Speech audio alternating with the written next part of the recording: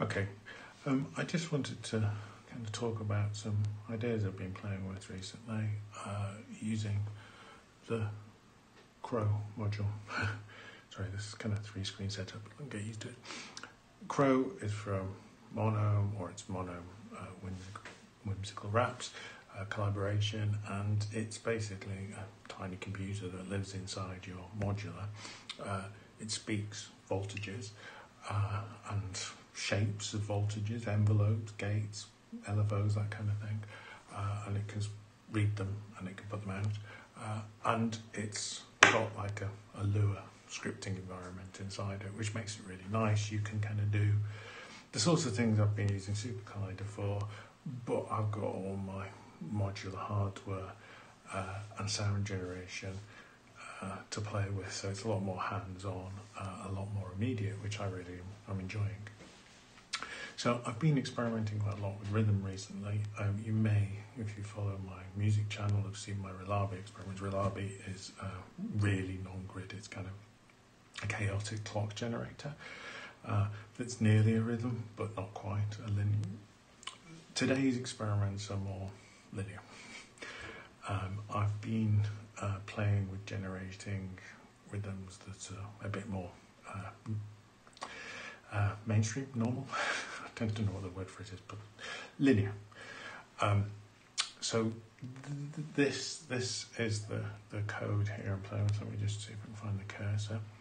So the idea is this comes from a paper I came across, um, and it's an alternating rhythm. So an alternating rhythm, if you think of a paradiddle, um, you've got two hands, and you can, if you imagine a regular grid, one or the other can play beat. Um, and that, you know, you've got lots of different patterns. I don't know what the number is, but that kind of thing.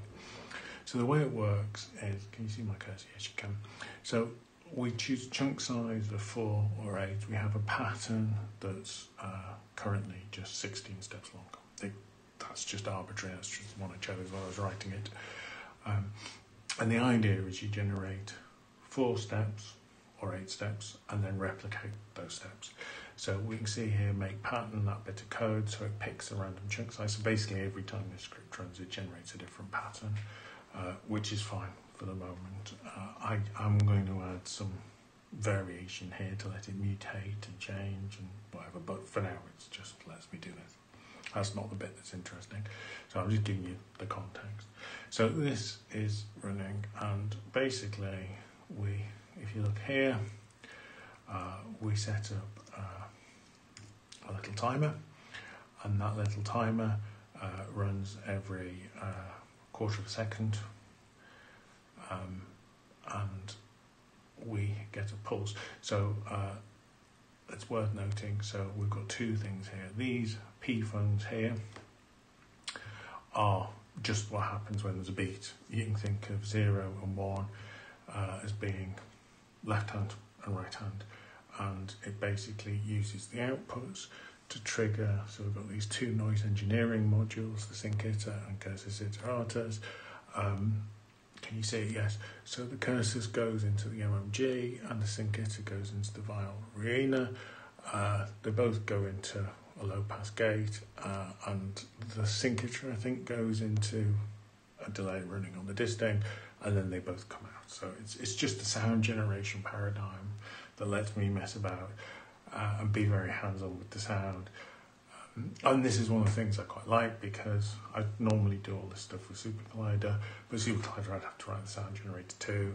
With this, I can just wire out from the Crow into my hardware and muck about, which is nice. Right, so that's neither here nor there. That's just some sound, two sounds. Yeah, that's the functions in pFun.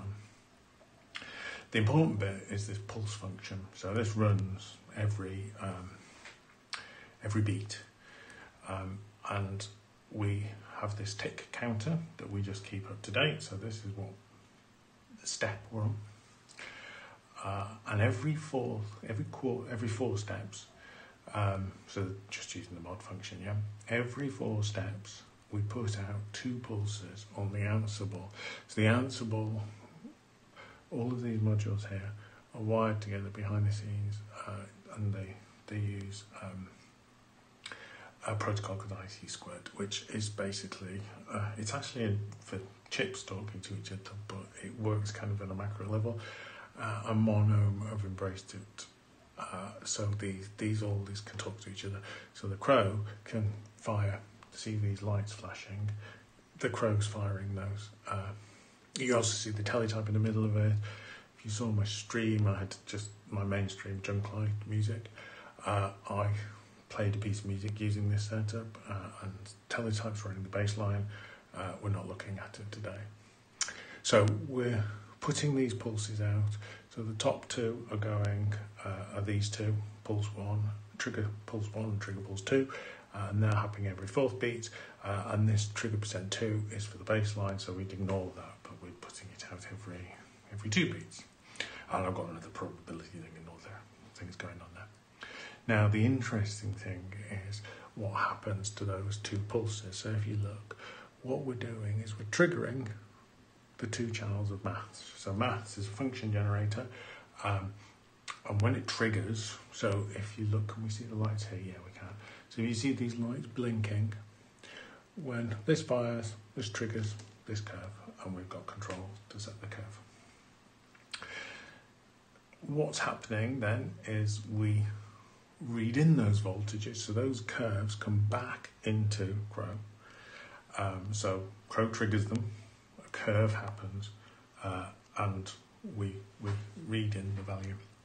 And the second channel, this one, we're using to alter the time between steps. Now, if you think about swing uh, in a rhythm, you do kind of one step and then a slightly longer or slightly shorter step, um, and you've got this kind of two two time values. So instead of having a linear, this beat and this beat and this beat are the same value, and this beat and this one and this beat and this one and this beat and this one, the different lengths. Now, what happens if I've got this function generating and I'm using that function to modulate the time between beats. So I've got not haven't got a regular grid. I've got a uh, and it's just a simple function. And where I would like to go is to be able to have multi-step functions. But this occurred to me last night. This is an easy way of trying the idea out. So that's one thing. And then the second, the first channel, but the other channel, uh, I'm reading in and I'm using that as a probability on how likely it is to fire the note. Now, you can do, uh, say every single note is 50 50. That's fine, and actually putting probabilities on notes, rhythm notes, is a technique I use all the time, uh, and that kind of produces an interesting rhythm, but you lose all the structure. So if you've got a three, four, one, two, three, four, that one is really important.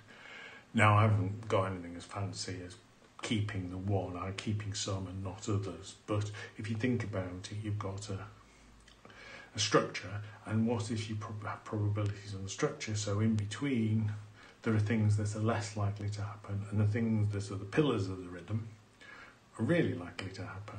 You keep your structure, and you've got a lot more variation. And in theory, you should get a fairly organic pattern. So that's the theory. So if we turn the probability up, um,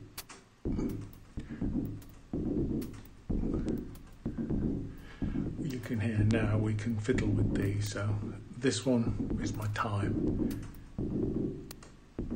and I can change.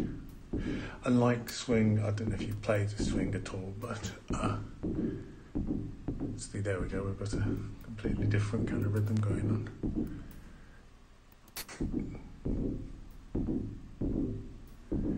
And sometimes you can kind of get it, so it's like, oh, that sounds really weird. And sometimes you can get like sweet spots.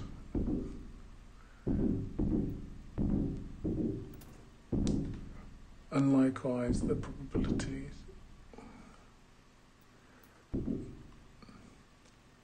So we kind of lost it. I mean, this, this, unfortunately.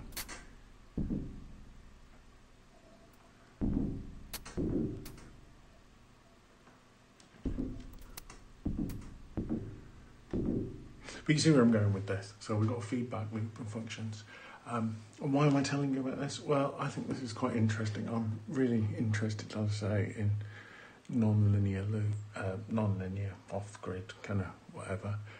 Uh, and the idea here, we lost it completely now.